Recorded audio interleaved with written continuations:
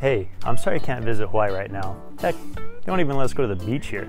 But what you can do is visit HawaiianFarmersMarket.com, where we carry products that are locally grown and made right here in Hawaii, like award-winning jams, jellies, macadamia nuts, coffee, even raw honey, a bunch of great local products. We do fast two-day shipping anywhere in the US, and if you order before noon Hawaiian time, we'll ship it out that same day.